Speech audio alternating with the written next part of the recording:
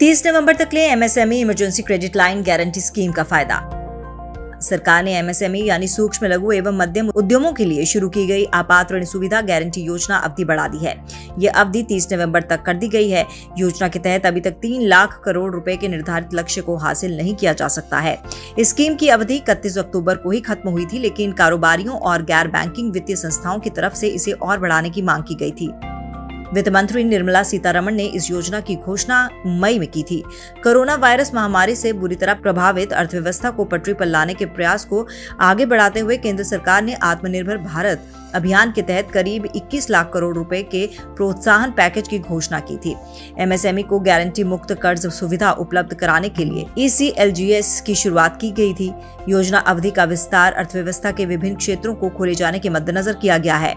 जब तक की योजना के तहत तीन लाख करोड़ रुपए के कर्ज को मंजूरी नहीं दे दी जाती, इसमें जो भी पहले होगा, उस समय तक ही योजना लागू रहेगी।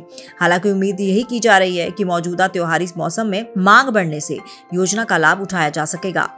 एफआईडीसी ने इस बारे में वित्त मंत्री को चिट्ठी लिखकर समय सीमा दिसंबर आखिर तक करने की मांग की थी। चिट्ठी में ये भी कहा गया था कर्ज स्वीकृति करने की तारीख दो महीने और कर्ज देने की समय सीमा मार्च 2021 तक बढ़ाई जाए, लेकिन इसे सिर्फ़ 30 नवंबर तक ही बढ़ाया गया है। स्वीकृत कर्ज 31 दिसंबर तक लिया जा सकेगा। एक रिपोर्ट के अनुसार अभी भी करीब चार से पाँच लाख लोगों ने स्कीम के बारे में पूछताछ की है और अगर सरकार सभी पात्र कैटेगरी के लिए इसका दायरा बढ़ाएगी तो उन्हें राहत मिल सकेगी। आपके बिज़नेस का सच्चा साथी।